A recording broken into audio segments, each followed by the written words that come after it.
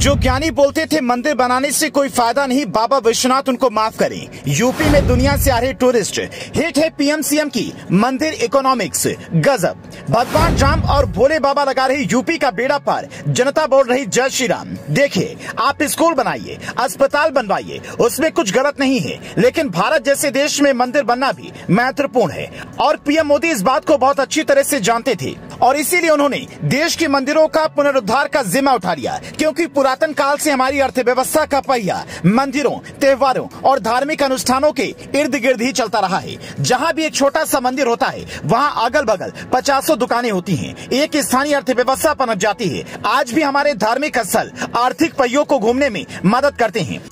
जब इलाहाबाद का नाम बदलकर प्रयागराज रखा गया, तब भी लोगों ने बवाल काटा था। प्रयागराज नाम के आकर्षण ने दुनिया भर से लोगों को प्रयागराज खींच लिया। प्रयागराज में इंफ्रास्ट्रक्चर डेवलपमेंट पर चार हज़ार करोड़ का खर्च आया था। प्रयागराज में जो कुंभ हुआ था, उसमें करोड़ों लोग आए और सरकार को एक लाख चालीस हज़ार करोड़ रुपए से ज़्यादा का राजस्व मिला। मतलब सरकार ने खर्च किए चार हज़ार करोड़, बदले में एक लाख चालीस हज़ार करोड़ का राजस्व आया। दूसरा उदाहरण, बनारस का है। महादेव जी की काशी का, यहाँ पर पिछले छह सालों में डोमेस्टिक टूरिस्ट आए।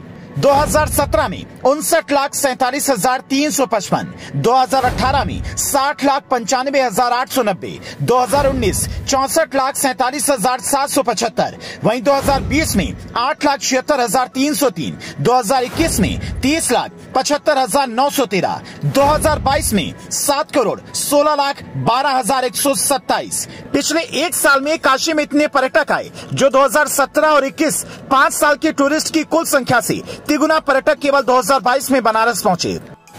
अब आप सोचिए, पिछले कुछ सालों में काशी में क्या बदला है?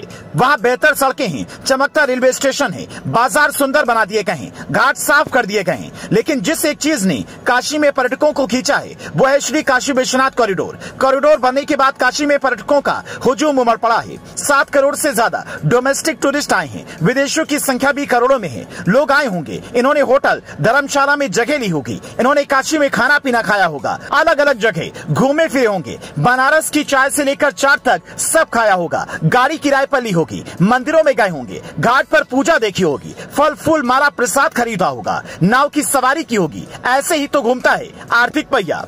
हमारे मंदिर हमेशा से ही राज्य की अर्थव्यवस्था से जुड़े रहे हैं। ये हमारे राज्य और सरकार के राजस्व का बड़ा स्रोत रहे हैं। वही आम जनता के रोजगारों और कमाई का बड़ा साधन रहे हैं। और ये ज्ञान प्राप्त करने के लिए आपको जेएनयू, ऑक्सफोर्ड या हार्वर्ड जाने की ज़रूरत नहीं है। सावन आने वाला है। महाशिवरात्रि पर देख लीजिएगा। कैसे धर्म आधारित आर्थिक पहिया मंदिर वाली अर्थव्यवस्था के दम पर देश के करोड़ों घर को रोशन करती है। Har Har Mahadev, bureau report, leading Bharat TV.